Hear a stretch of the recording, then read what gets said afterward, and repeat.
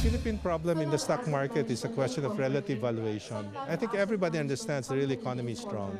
Everybody understands that you know growth rate has been you know can be sustained. I think the challenge for Philippine stock market is relative valuation. We're rather expensive compared to other markets. So foreign investors tend to be opportunistic. You know, when the market is down, they will buy, and then you see you know, uh, foreign inflows and outflows happening, you know, consistent, con- continuously. Because we've already been a consuming economy, right? Uh, so we've done that. Urbanization, we're reasonably urbanized already. I think it's really the the lack of infrastructure, and we do need a lot of infrastructure. You know, airports, uh, highways. Um, even telecommunications for that matter. You know, we still have to pay attention to our power industry, make sure that we have sustainable and uh, cheap power, uh, including the transmission. So, you know, there's a lot of infrastructure to be built still in the Philippines. But sir, you were talking about bottlenecks also. What's the top bottleneck for the Philippines? In infrastructure, you were saying about bureaucracy.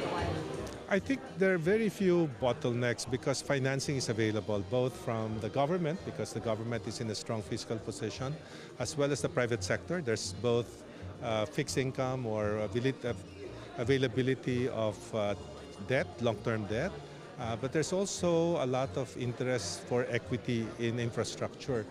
I think, I, I hope that uh, the president can also provide some focus on infrastructure. I think if he provides as much attention to infrastructure as he does for the you know uh, peace and order um, and other social legislation that they're pushing, I am sure that the Philippines would look very different five years from now. I think the, the president has a lot of popularity and political capital.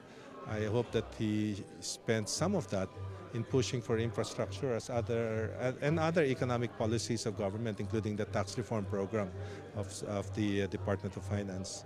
During the Aquino term, there were also funding available, and there were also plans for infrastructure. But it was, uh, it was also it got lost in the pipeline somewhere, and they didn't get too many projects in the pipeline. What do you think is the is the this administration quite on track right now? Well, I, I, think you every time you have a change of administration, you lose a little bit of momentum. I think if you recall, while it took a long time for the PPP program to uh, take off under President Aquino at the, uh, at the last year and a half of his administration, it started picking up. Unfortunately, you, you have a change of administration and you start all over again. Um, I think it's important uh, for the president and his team to just you know, try to, as the president said, try to adopt some of the strategies and tactics that were already being employed so that we can just get things moving. No? I mean, the projects have already been identified. Why don't we get the biddings to take place, you know, so that projects can be started? Last from my and um, sort of tax reform program, do you think this should be at the top of the agenda of the president other than compared to other things? Well, I think the tax reform program is very important. It provides for a sustainable platform for you know stronger economic growth for us. Um, I think it's uh, important to allow for the economy to move faster, no? and that's what I think the economic reform, the tax reform uh, package is all about. Uh, but it does require a lot of political capital, as I experienced when I was in the same position. No? It requires for strong you know, presidential influence to be able to move legislation in this country. Know? I mean, we saw that with the approval of the death penalty in the lower house.